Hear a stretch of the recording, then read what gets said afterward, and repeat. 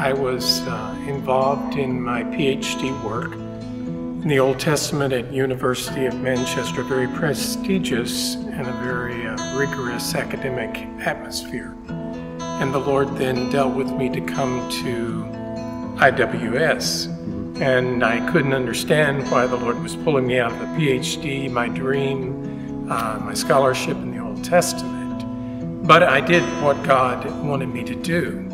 And one of the things that I have found at IWS in working in the rigor of the British system at University of Manchester, the rigor here at times has been more challenging, uh, more uh, academic than, uh, than I even began to realize.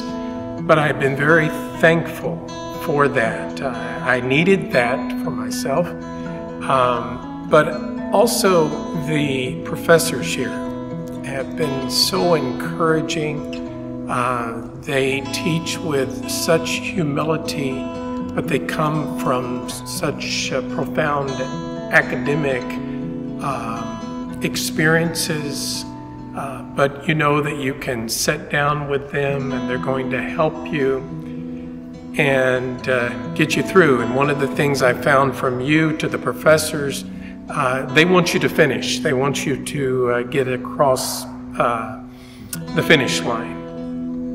IWS, I told somebody, I'd heard it before what Robert Webber had said, but I can tell you that he brought me to IWS to mess me up and uh, uh, it God has used IWS and all of the courses. It's been a course. It's been a real journey for me. Uh, it has changed my life.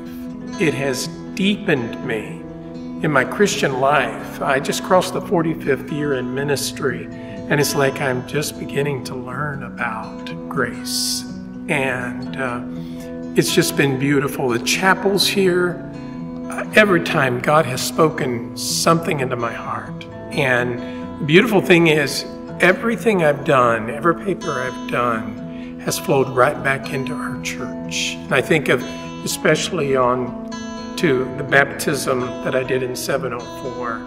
Uh, I watched in that that course at the end of the course we had people renewing their baptism, and I saw people move that I've never seen moved before. It's 25, 20 to 30 people in that class. And now, as I'm coming to the finish line and I'm writing my thesis on lament, I have been amazed at how much in my counseling and in our church atmosphere it's just poured out of me as people have gone through ALS, uh, loss of loved ones, a loss through suicide.